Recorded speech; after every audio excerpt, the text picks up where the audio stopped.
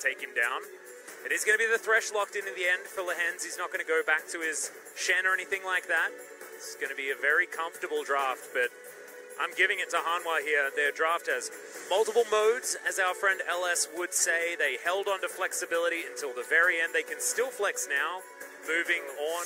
Definitely a balancing act right now, where Ornn is doing actually fine because Cuvee hasn't built an item. Oh no, there's the flash play. In comes the Jarvan, and that should be first blood.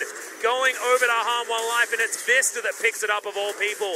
Maybe just taking a double here as the cube. Will it come back off cooldown? Haru just stabs him.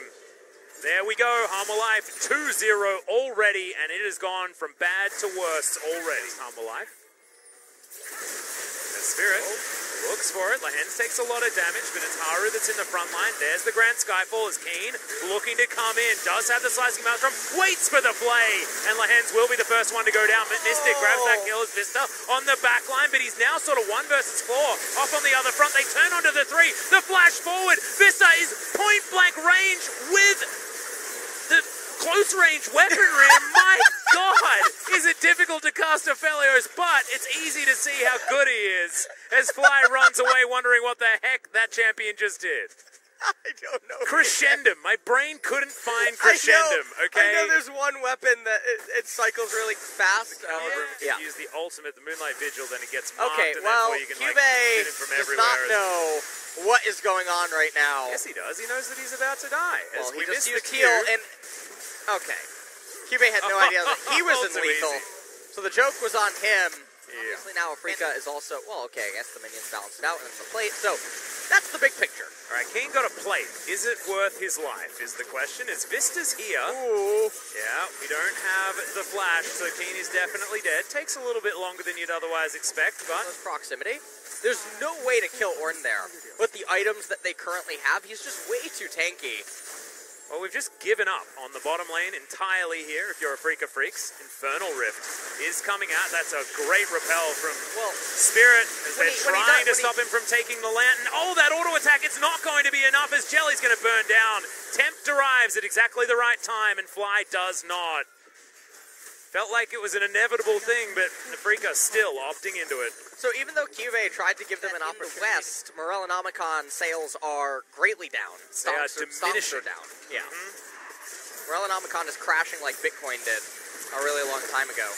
Hook lands on the Kiin, and he's just dead. No stopwatch. And uh, it was just poor positioning from Kiin. He hasn't had the start to the season. They are in complete control of this map. When we take a look at the replay, and that's just a really clean kill right there. I, I actually made a deal with him prime for prime. Oh, wow. I don't have prime. Oh, wow. You've been advertising this for so long. Don't even have it as Cuvee's going for the 1 1v1.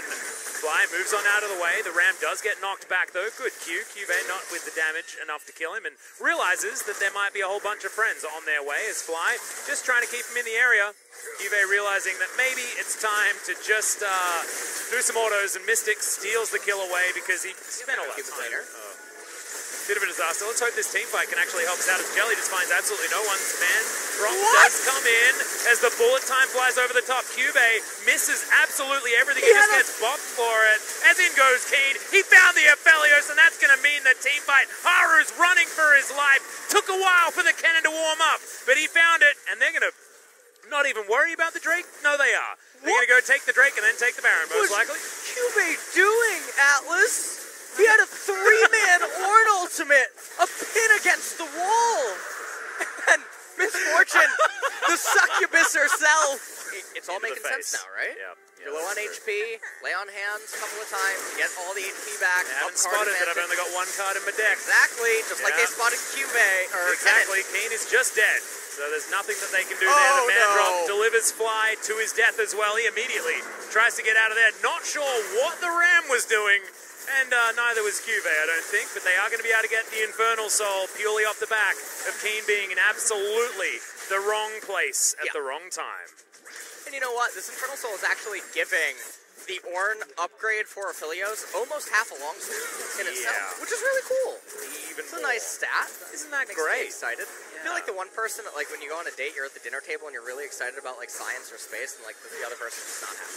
Yeah. I mean? I feel really Uh, isolated right now. Is That's that, okay. is that what you feel? Yeah. No, I'm It's excited fine. about Yeah, are you Long excited?